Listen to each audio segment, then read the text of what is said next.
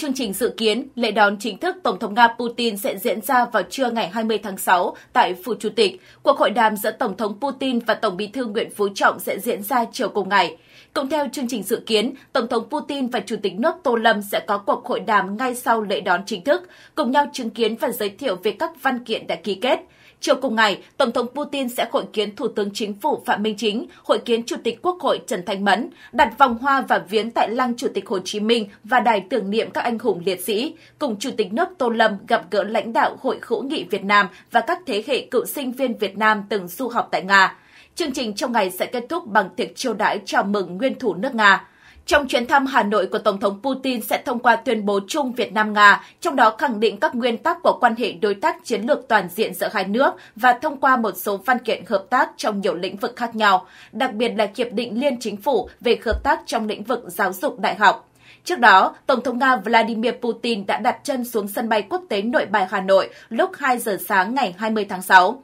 Tháp tùng Tổng thống Putin có Ngoại trưởng Nga Sergei Lavrov, Phó Thủ tướng Chủ tịch phân ban Nga Ủy ban Liên Chính phủ Việt Nam-Nga về hợp tác kinh tế thương mại và khoa học kỹ thuật Dmitry Chenisenko, Phó tránh văn phòng Tổng thống, Thư ký báo chí Tổng thống Dmitry Peskov, Đại sứ Nga tại Việt Nam Gennady Bedetko. Ngoài ra còn có Bộ trưởng Tư pháp Konstantin Chuchenko, Bộ trưởng Công thương Anton Alikhanov, Bộ trưởng Giao thông Roman Starovoit, Bộ trưởng Năng lượng Sergei Tsivilev.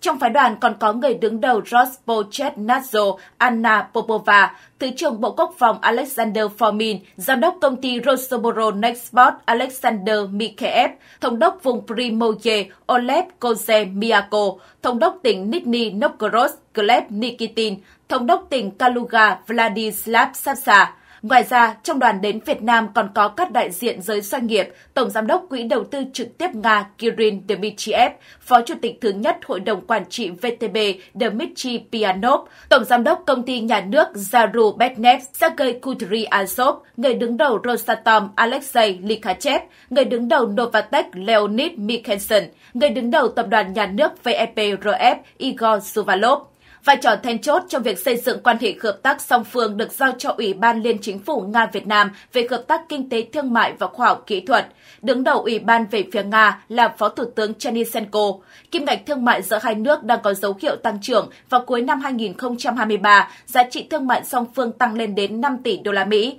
Năm nay xu hướng tăng trưởng vẫn tiếp tục hơn 1 phần 3 trong quý đầu tiên. Các mặt hàng xuất khẩu chính của Nga sang Việt Nam là khoáng sản, than đá, nông sản. Việt Nam xuất khẩu sang Nga hàng dệt may, cà phê, điện thoại và linh kiện. Các công ty lớn của Nga hoạt động tại Việt Nam, VTB, Rosatom, Gazprom, Zarubenes và Novatech. Trong nhiều năm, Vietso Petro, liên doanh giữa Petro Việt Nam và Zarubenes vẫn là đầu tàu hợp tác trong ngành. Về phần mình, các doanh nghiệp Việt Nam cũng đang tích cực triển khai các dự án tại Nga, đặc biệt là công ty TH True Milk của Việt Nam đã khai trương tổ hợp chăn nuôi bò sữa ở tỉnh Moscow, khối lượng đầu tư 6,8 tỷ rúp và đang thực hiện các dự án tương tự ở tỉnh Kaluga và vùng Primoye. Theo Sputnik, ông Yuri Usakov, trợ lý của Tổng thống Nga cho biết, sẽ thông qua tuyên bố chung song phương, trong đó xác định các nguyên tắc của quan hệ đối tác chiến lược toàn diện giữa hai nước và cũng sẽ ký kết hàng loạt văn kiện về hợp tác trong lĩnh vực khác nhau. Có khoảng 20 văn kiện hiện đang được soạn thảo và phần lớn đã sẵn sàng.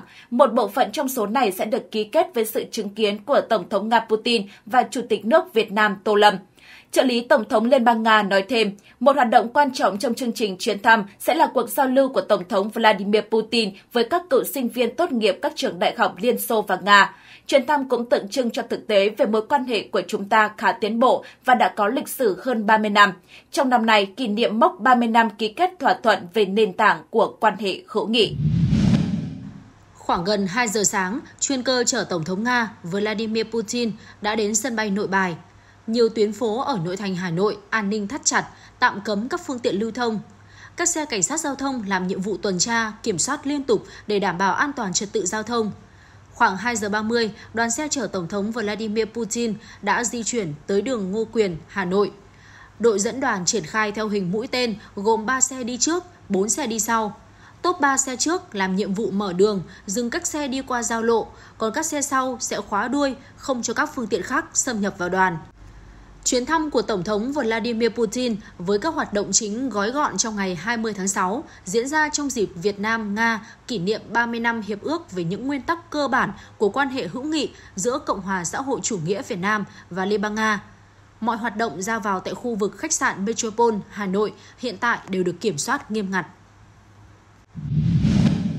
Tối ngày 19 tháng 6, Tổng thống Liên bang Nga Vladimir Putin sẽ đến Hà Nội bắt đầu chuyến thăm cấp nhà nước đến Việt Nam theo lời mời của Tổng bí thư Nguyễn Phú Trọng. Tháp tùng Tổng thống Liên bang Nga Vladimir Putin thăm cấp nhà nước tới Việt Nam có Bộ trưởng Ngoại giao Sergei Lavrov, Phó Thủ tướng, Chủ tịch phân ban Nga, Ủy ban Liên Chính phủ Việt Nam Nga về hợp tác kinh tế thương mại và khoa học kỹ thuật Dmitry Chernysenko,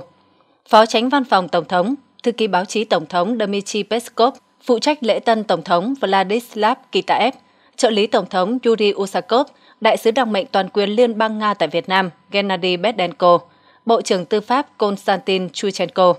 Bộ trưởng Công thương Anton Alikhanov, Bộ trưởng Giao thông Roman Sarovoit, Bộ trưởng Năng lượng Sergei Tsivilev cùng lãnh đạo đại diện cơ quan liên bang về hợp tác kỹ thuật quân sự, cơ quan giám sát trong lĩnh vực bảo vệ quyền của người tiêu dùng và phúc lợi nhân dân, Cục Cảnh vệ Liên bang phụ trách cơ quan an ninh của Tổng thống, Bộ Quốc phòng, vùng Primorie tỉnh Kaluga, tỉnh Nizhny Novgorod, Quỹ đầu tư trực tiếp Nga, Học viện Kinh tế Quốc dân và Hành chính công trực thuộc Tổng thống, Công ty cổ phần mở Zarubezhnev, Tập đoàn Năng lượng Nguyên tử Quốc gia Rosatom, Công ty cổ phần xuất khẩu quốc phòng Nga, Công ty cổ phần Novatech, Tập đoàn Phát triển Quốc gia Ngân hàng Kinh tế Đối ngoại Liên bang Nga, Công ty cổ phần Ngân hàng VTB, Cục Đối ngoại Tổng thống. Chuyến thăm cấp nhà nước đến Việt Nam của Tổng thống Nga Putin diễn ra trong bối cảnh hai nước kỷ niệm 30 năm ngày ký hiệp ước về nguyên tắc cơ bản trong quan hệ hữu nghị Việt Nam Liên bang Nga và tiến tới kỷ niệm 75 năm ngày thiết lập quan hệ ngoại giao trong năm 2025.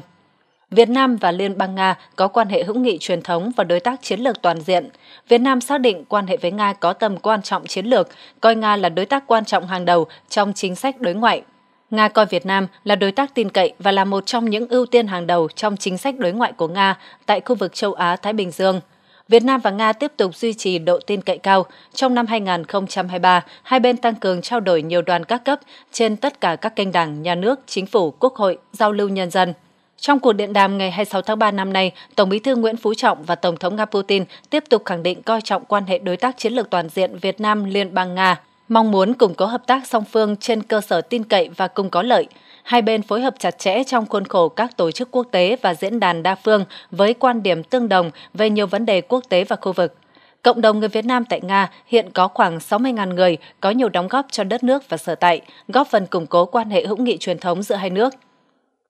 Chân dung Tổng thống Liên bang Nga Vladimir Putin Tổng thống Liên bang Nga Vladimir Putin sinh ngày 7 tháng 10 năm 1952 tại thành phố Leningrad, nay là Saint Petersburg của Nga. Năm 1975, ông tốt nghiệp khoa luật trường Đại học Leningrad và sau đó lấy bằng tiến sĩ kinh tế. Năm 1975, ông bắt đầu làm việc tại Ủy ban An ninh Quốc gia KGB. Từ năm 1985 đến năm 1991, ông Putin công tác tại Cộng hòa Dân Chủ Đức.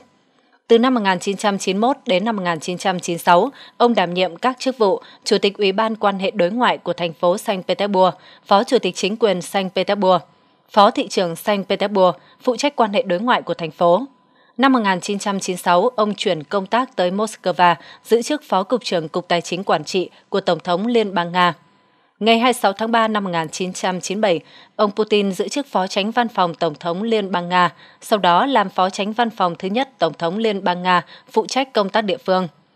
Tháng 7 năm 1998, ông đảm nhiệm vị trí Giám đốc Cơ quan An ninh Liên bang Nga FSB. Tháng 5 năm 1999, ông Putin làm thư ký Hội đồng An ninh Liên bang Nga. Tháng 8 năm 1999, ông Putin giữ chức Thủ tướng Chính phủ Liên bang Nga, sau đó trở thành quyền Tổng thống Liên bang Nga vào tháng 12 năm 1999. Tháng 3 năm 2000, ông Putin được bầu làm Tổng thống Liên bang Nga, sau đó tiếp tục được bầu làm Tổng thống Liên bang Nga nhiệm kỳ thứ hai vào tháng 3 năm 2004. Từ tháng 5 năm 2008, ông giữ chức Thủ tướng Chính phủ Liên bang Nga. Tháng 3 năm 2012, ông Putin được bầu làm Tổng thống Liên bang Nga nhiệm kỳ thứ ba và tiếp tục được bầu làm Tổng thống Liên bang Nga nhiệm kỳ thứ tư vào tháng 3 năm 2018. Tháng 3 năm 2024, ông được bầu làm Tổng thống Liên bang Nga nhiệm kỳ 5.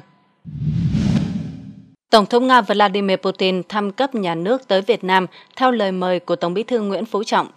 Chuyến thăm diễn ra đúng vào dịp hai nước kỷ niệm 30 năm ngày ký hiệp ước về nguyên tắc cơ bản trong quan hệ hữu nghị Việt-Nga 1994-2024 và tiến tới kỷ niệm 75 năm ngày thiết lập quan hệ ngoại giao hai nước trong năm 2025. Chuyến thăm cấp nhà nước của Tổng thống Vladimir Putin tới Việt Nam là hoạt động đối ngoại có ý nghĩa đặc biệt quan trọng. Theo báo Nhân dân, tháp tùng Tổng thống Nga Vladimir Putin thăm cấp nhà nước tới Việt Nam có Bộ trưởng Ngoại giao Sergei Lavrov, Phó Thủ tướng, Chủ tịch phân ban Nga, Ủy ban Liên Chính phủ Việt Nam Nga về hợp tác kinh tế thương mại và khoa học kỹ thuật Dmitry Chernysenko, Phó Tránh Văn phòng Tổng thống, Thư ký báo chí Tổng thống Dmitry Peskov, phụ trách lễ tân Tổng thống Vladislav Kitaev, trợ lý Tổng thống Yuri Usakov, đại sứ đặc mệnh toàn quyền Liên bang Nga tại Việt Nam Gennady Bedenko, Bộ trưởng Tư pháp Konstantin Chuchenko, Bộ trưởng Công thương Anton Alikhanov, Bộ trưởng Giao thông Roman Sadovoit, Bộ trưởng Năng lượng Sergei Tsivilev. Đoàn tháp tùng còn có lãnh đạo đại diện cơ quan liên bang về hợp tác kỹ thuật quân sự, cơ quan giám sát trong lĩnh vực bảo vệ quyền của người tiêu dùng và phúc lợi nhân dân, Cục Cảnh vệ Liên bang, phụ trách cơ quan an ninh của Tổng thống, Bộ Quốc phòng, vùng Primoye, tỉnh Kaluga, vùng Nizhny Novgorod, Quỹ đầu tư trực tiếp Nga, Học viện Kinh tế Quốc dân và Hành chính công trực thuộc Tổng thống, Công ty cổ phần mở Zarubezhnev, Tập đoàn Năng lượng Nguyên tử Quốc ta Rosatom, Công ty cổ phần xuất khẩu quốc phòng Nga, Công ty cổ phần Novatech, Tập đoàn Phát triển Quốc gia Ngân hàng Kinh tế Đối ngoại Liên bang Nga, Công ty cổ phần Ngân hàng VTB và Cục Đối ngoại Tổng thống.